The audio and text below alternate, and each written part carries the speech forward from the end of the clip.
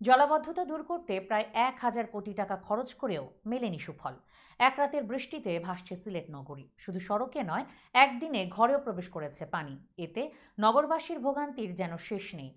বুধবার সকালে ঘুম থেকে উঠেই জলাবদ্ধতার সঙ্গে শুরু হয় মানুষের যুদ্ধ। তবে সিটি কর্পোরেশন বলছে, যত্রতত্র ময়লা ফেলায় ড্রেনের পানি প্রবাহ বাধাগ্রস্ত হওয়ায় এই সমস্যা।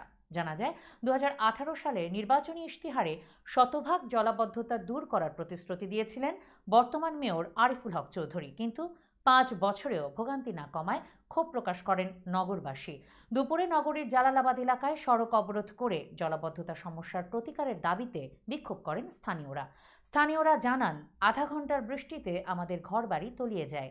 কিছুক্ষণ এক নাগারে বৃষ্টি হলে আমাদের ঘর দুয়ারে পানি, কোমর সমান পানি ভেঙে আমাদের চলতে হয়।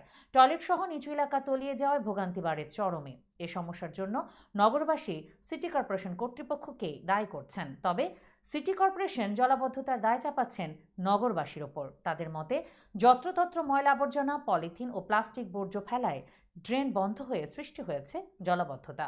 সিলেট সিটি কর্পোরেশনের প্রধান প্রকৌশলী নূর আজিজ রহমান বলেন, বৃষ্টি হলে বিভিন্ন নালা নর্দমায় ফেলে রাখা পলিথিন ও প্লাস্টিকের কারণে জলাবদ্ধতার সৃষ্টি হয়। এ অবস্থায় আমরা ড্রেন থেকে এসব বর্জ্য পরিষ্কারের উদ্যোগ নিয়েছি।